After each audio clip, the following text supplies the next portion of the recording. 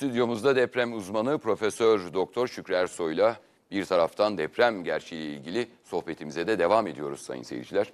Hocam şimdi bir önceki Kandilli Rasathanesi'den önceki haberimizde vatandaşların geceyi sokakta geçirdiğini söyledik. Tümü değil elbette ama ne yapsınlar? Sokakta kalmaya devam mı etsinler? Evlerine mi geçsinler?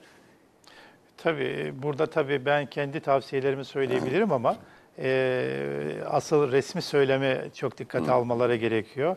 Mesela buradan e, onların evlerinin ne kadar sağlam ya da o, olup olmadığını bilemeyiz. Yetkililer ne zaman girin dediği zaman e, kendi evlerine girebilirler. E, çünkü depremde en güvenli yerler evlerin olması gerekiyor. Eviniz güvenliyse zaten sokakta Sağlam yatmanıza yapılarla ilgili. Aslında e, binası hasar görmemiş olan insanlar da biraz da korkuyla, panikle dışarıdalar. Belki Evet, daha evet. önceki depremleri yaşayanlar. Evet doğru söylüyorsunuz. O bakımdan binamızın durumunu önceden bilmemiz gerekiyor zaten. Hem zeminsel olarak hem kullanılan malzemeler hem projesi aslında uygun olarak yapılmış mı? Bunlar daha önceden bilinebilecek şeyler. Bunlar biliniyorsa o zaman deriz ki evimiz güvenli ev. Depreme dayanıklıdır. Korkmamıza gerek yok. Korkmamıza Evimizde gerek yok. Geceyi dışarıda geçirmeye En gerek güvenli yok. yerde evin içidir. Sokaklar değil aslında. İşte bu bilince sahip olmamız gerekiyor tabii elbette. Kandilli Rasathanesi'nin açıklaması çok konuşuluyor. Bir sona doğru yaklaşıyoruz ama zamanını bilmiyoruz. Gerçekten Evet. bir sona doğru mu yaklaşıyoruz? Ha, bir taraftan elbette felaket tellallığı yapmayacağız ama gerçekleri de konuşmamız gerekiyor. Vatandaşları da uyarmamız gerekiyor. Katılıyor musunuz bu görüşe? E, tabii depreme zaman veremeyiz. Yani bunun altını çizmek gerekiyor. Depremin ne zaman olacağını bilmez ama depremin olacağını biliyoruz. Biliyoruz. E, e, bu önümüzde büyük bir de, 7 büyüklüğündeki deprem olabilir ama ondan sonra yıllar sonra yine olacak. Yani bu bizim gerçeğimiz. E, nesiller boyu Evet. bunu yaşayacağız. Artık rahatladık, deprem gerçeği ortadan kalkmıştır diye bir şey yok. Bunun yerine, bununla uğraşmak yerine e, güvenli kentlerde yaşamak, akıllı binalarda yaşamak için ülkece çaba göstermemiz gerekiyor.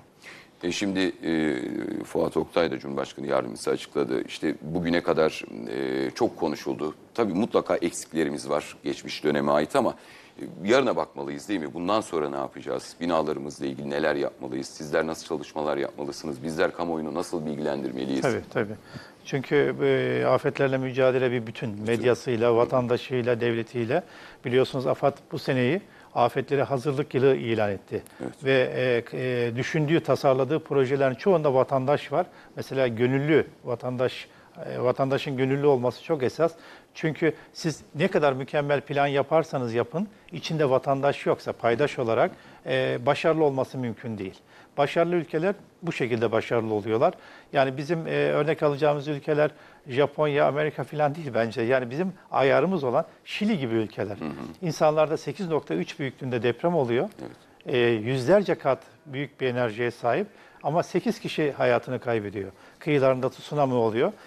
Onlar yaptıysa biz yaparız. Hem teknik olarak buna muktediriz, hem ülke olarak muktediriz. Bu işe inisiyatif koymak gerekiyor, samimiyet koymak gerekiyor. Ee, bunu vatandaş görürse zaten katkı verecektir. Yani e, ülkemizde de çok çalışmalar yapılıyor. 1999'dan bu yana çok çalışmalar yapılıyor. Ama tabii soracaksınız yeterli mi? Elbette değil. Ee, İstanbul ve çevresinde yapı stoğumuz çok kötü. Ee, o kadar kötü ki bazı yerlerde her sokakta yıkılacak bina var. Vatandaşın kendisi biliyor aslında Biliyor. bunu. Vatandaş da Yani biliyor. bilmemezlikten geliyor ama biliyor. Çünkü e, binaların inşasını hatta e, dört katlı inşa etmişken iki kat daha almak için belediyeye nasıl yanaştığını, nasıl rüşvetler verildiğini e, vatandaş da biliyor, yetkili de biliyor. Zaten korku bundan kaynaklanıyor bence. Aksi takdirde e, evinin güvenli olduğunu bilse sokaklarda insanlar yaşamazlar. Deprem gündemiyle ilgili haberlerimize devam edelim. Ardından sohbetimize yine devam edeceğiz hocam. Şimdi depremde büyük bir sınav verdi Türkiye özellikle sosyal medyada. Birçok kişi korkuyu arttırmak için asılsız iddialar paylaştı. Deprem kadar asılsız ihbarlar ve ortaya atılan iddialar da vatandaşları panikletti. İstanbullular